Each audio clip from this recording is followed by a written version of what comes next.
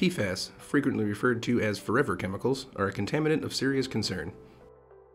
Introducing PFAS eFlow, a groundbreaking solution for the capture and destruction of PFAS that is currently in development. Per and polyfluoroalkyl substances, PFAS, are a group of man made chemicals that can be toxic and have many potential health risks, including cancer, hormone disruption, and reproductive harm. They are known as forever chemicals because they are difficult to break down and can persist in the environment and in the body for decades. Most existing PFAS capture and destruction technologies involve large capital infrastructure and require high energy consumption.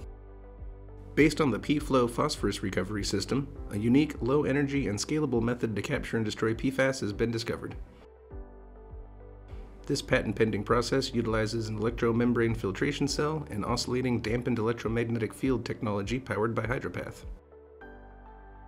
During the first stage, using methods such as dissolved air flotation and foam fractionation, the PFAS containing wastewater that typically contains trace levels of PFAS in parts per billion or parts per trillion are pre-treated based on their source to remove solids and increase PFAS concentrations.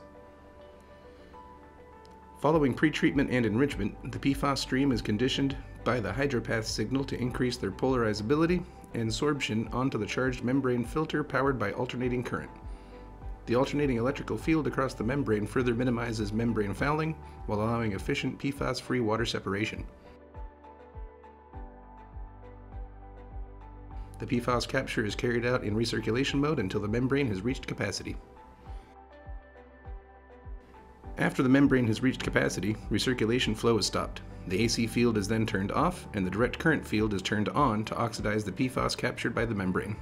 The degraded products are then flushed from the filtration cell and sent to final polishing steps to produce PFAS free water for discharge or reuse.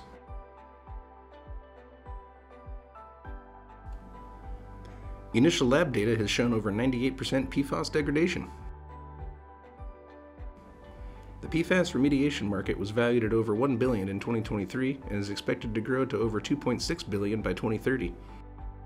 As more people become aware of the dangers of PFAS, along with the stringent regulations in place to address the risk PFAS poses to the environment, efficient and flexible remediation systems able to be deployed on site will be in high demand. PFAS eFlow can be configured for potable water treatment, municipal wastewater effluent treatment, industrial residual stream pretreatment, landfill leachate or other contaminated sources, and AFFF contaminated groundwater. If you are interested in learning more or would like to become part of the PFAS eFlow development team, please reach out to Professor Raju Badireddy. Thank you.